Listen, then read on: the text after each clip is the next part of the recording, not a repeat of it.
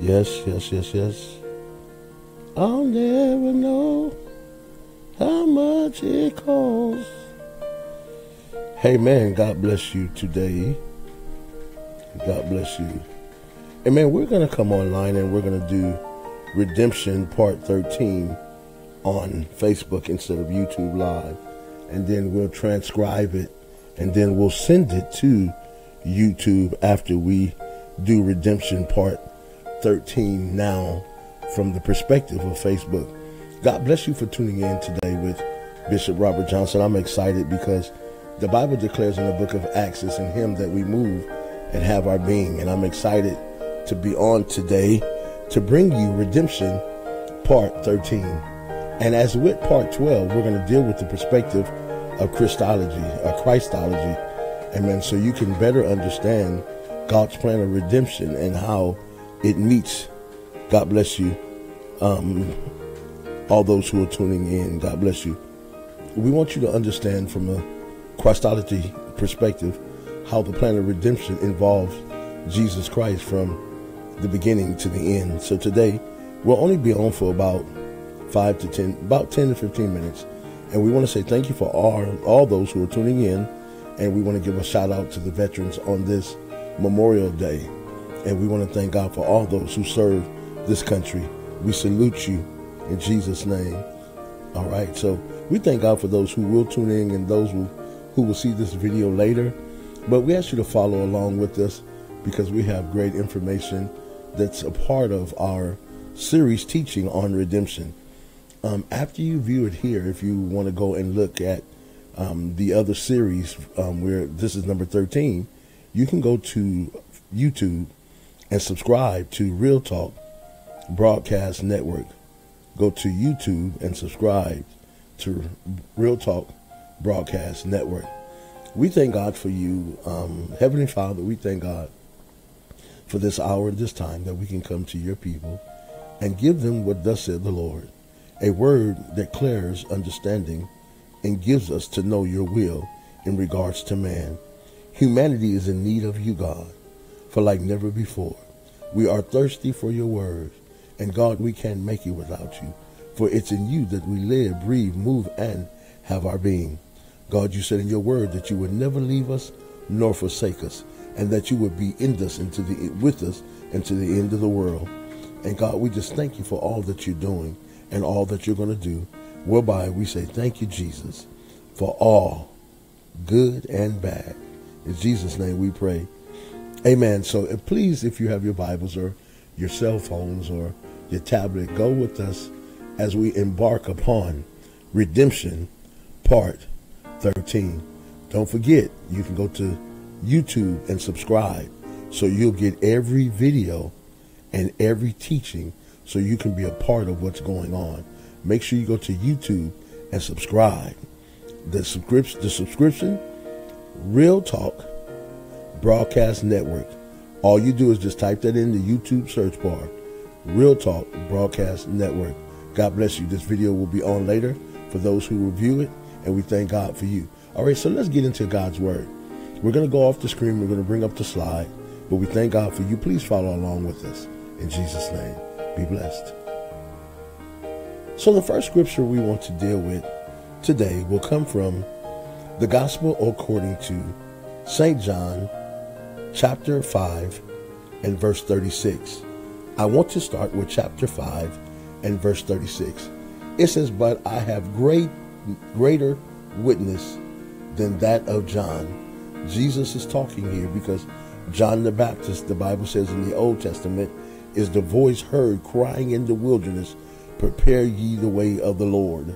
Amen. So at all times we must understand that John deals with the deity of Jesus, his humanity and his godness in one. Amen. So John lets us know that he is the God man.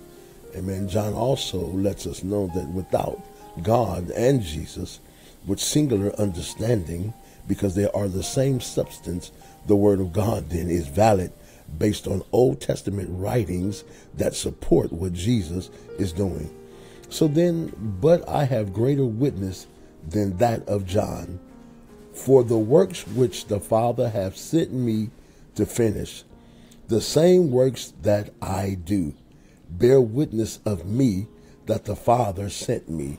We need to understand in redemption the purpose of God sending Jesus was to redeem you and I back to God. Amen. When Adam transgressed in the garden, he broke the covenant between humanity and heaven. Amen. So what God does, he sends his son Jesus to become the blood offering for the world. Amen. Isaiah 53 and 10 declares, For it pleased the Father to bruise him. The Bible says, For the joy that was set before him, him being Jesus, he endured the cross, despising the shame, and has sat back down at the right hand of the Father. Jesus, the physical man, was the blood offering for humanity for us to get back to God. In Revelations, verse chapter 22 and verses 3, God said that on the throne is God and on his right hand side, it does not clarify or give a name, which would mean another person. Amen. But he says, the Bible said it is the Lamb of God, representing the purpose of God, the Word of God, in the same John 1 and 1, sent forth into the world to redeem you and I back to God. But the greatest part of Revelations 22 is it says his servants are by and around the throne. You and I are the servants of God according to his spirit. Amen. But it says the Father has sent me to bear witness. So Jesus Christ comes to bear witness that God is redeeming us back to himself through the blood of the man Jesus. Let's go to verse 37. Verse 37 says, And the Father himself, which sent me, have bore witness of me. Ye have neither heard his voice at any time, nor seen his shape. Ah, he said, but the Father himself have sent me, and he have borne witness, bore witness of me.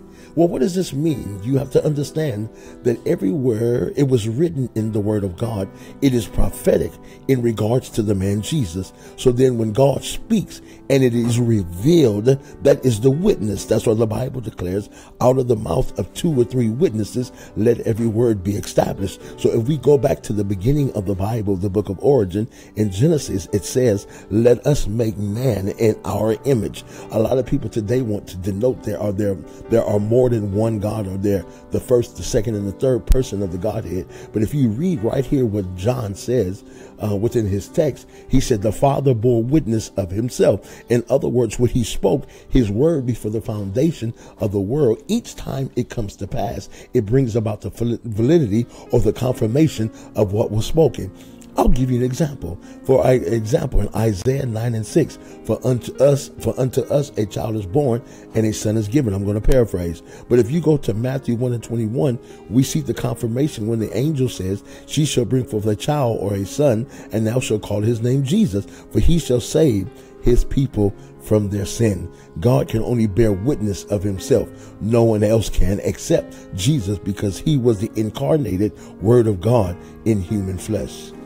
Amen. So it says here, no one has seen his face or his shape at any time.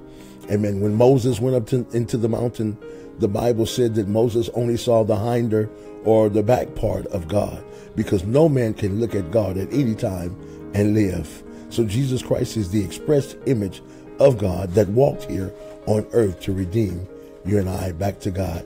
Let's go to verse 39. I'm going to jump, skip ahead.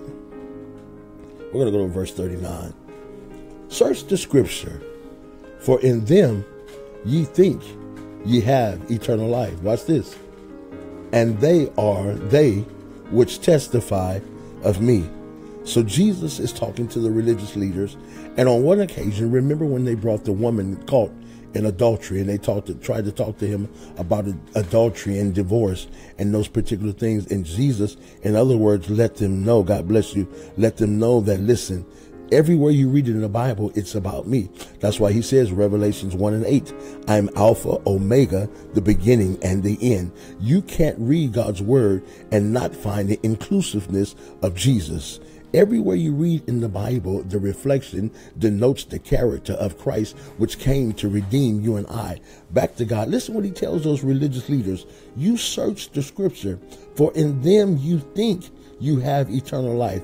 Listen, people think because they can get up and give a prophetic word and speak that there's eternal life. But Jesus said, if you exclude me in any of the Bible notation, then you don't really know who I am because the Bible is sent forth to testify of me. Consider this. That's why in hallelujah, Hebrews 10 7, Jesus says this, Then said I, Lo, I come in the volume of the book, and it is written of me to do thy will, O God. The book, the Bible from Genesis to Revelation has one understanding. It is the purpose and the will of God through the man Jesus to redeem you and I back to himself.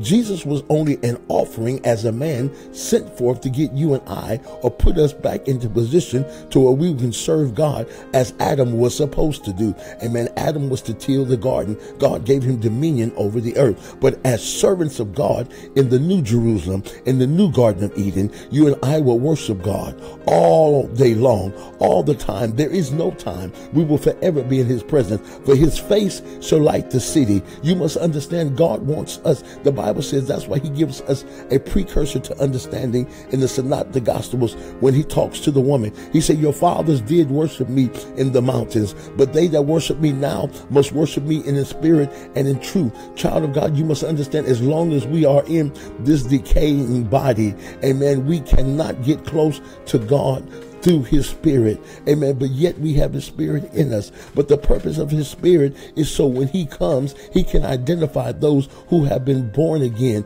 those who are of the remnant who he have called by his own name. And what God is doing, he's restoring the kingdom back to himself. That's why he said, in this world, think that I think not that I come to bring peace, but he came to tear Satan's kingdom down. He did not come to bring peace.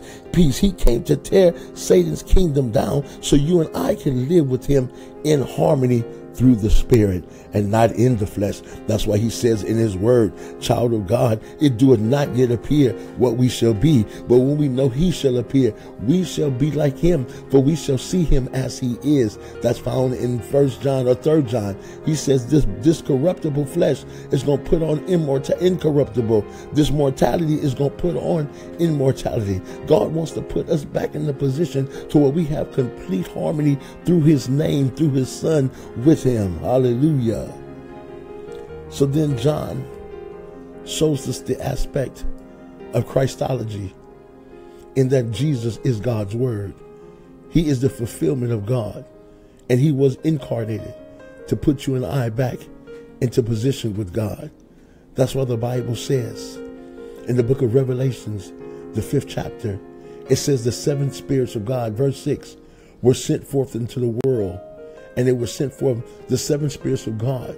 Everything that was in the man Jesus came from God.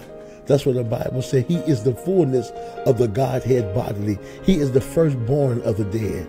Amen. He is the head of the church. Why? For he is, he was the Son of God, wrapped in flesh, yet God's word to redeem you and I. First John I mean, John 1 and 1, in the beginning was the Word, and the Word was with God. So you see, the God had already had in his mind the Word being the Lamb, being the purpose of redemption. God's Word can manifest itself in whatever he wanted to, to do to redeem you and I back to himself.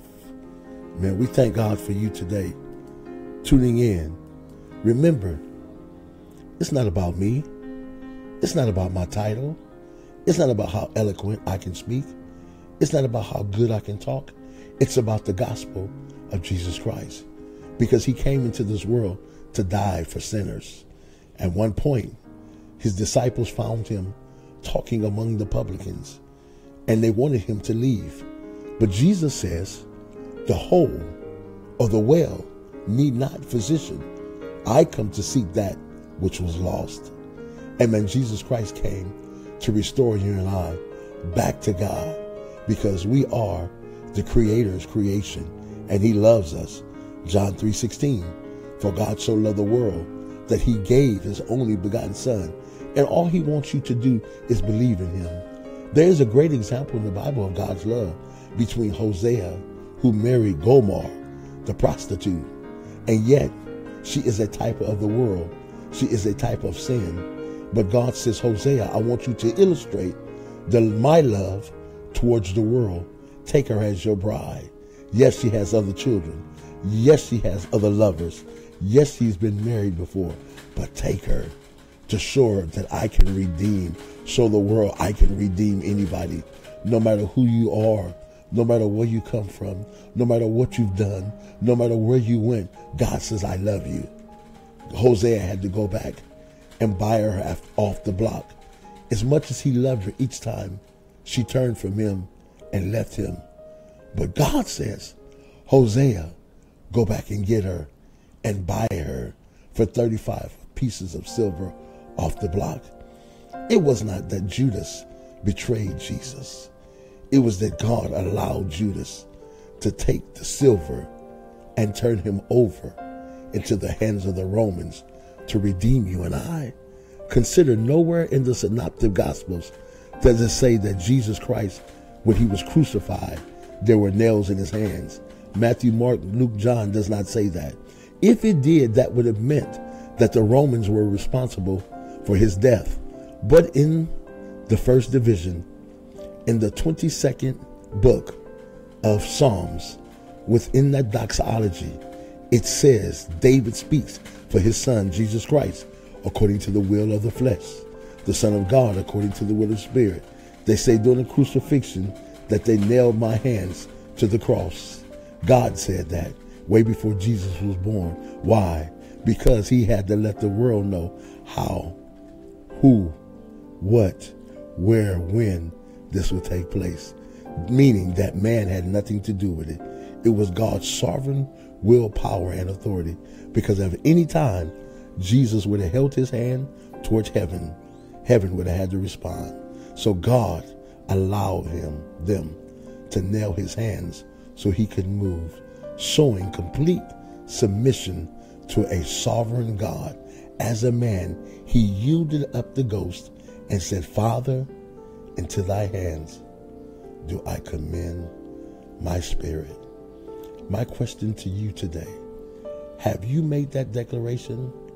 Father, into thy hands do I commend my, your, my spirit. If you have not done that,